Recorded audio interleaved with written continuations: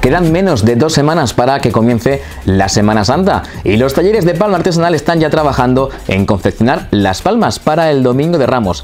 En concreto nos hemos acercado hasta el taller Serrano Valero que elaboran las palmas que el ayuntamiento les ha encargado para entregarlas al obispo, a la reina Leticia y al papa. En este taller exportan palma blanca además a todo el país, a lugares como Murcia, Valencia, Barcelona o Ibiza y elaboran palmas desde solapa hasta algunas más elaboradas para ponerlas arriba de los tronos de otras localidades.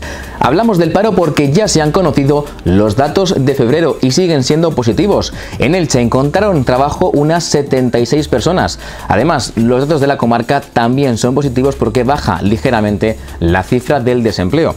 A pesar de ser datos positivos para UGT, el empleo que se crea sigue siendo estacional y los contratos temporales, por lo que recalca la necesidad de derogar en su totalidad la reforma laboral y reponer los derechos de los trabajadores. Además, UGT sigue señalando que hay una gran brecha salarial entre lo que cobran hombres y mujeres y lo denuncian en una semana en la que vamos a celebrar el Día de la Mujer Trabajadora, el próximo 8 de marzo.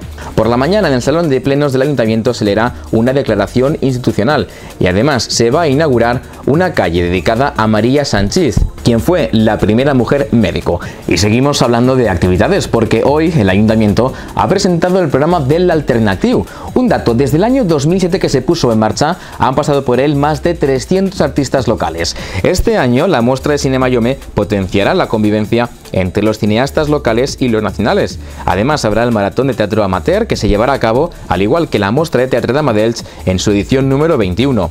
Otro de los certámenes consolidados es el certamen de cantautores. También habrá talleres de promoción artística como en la fotografía o pintura. Lo contamos mejor en telelch.es y a las 9 y media en Telenit. Restaurante Aladia. Hotel Trip Ciudad de Elche.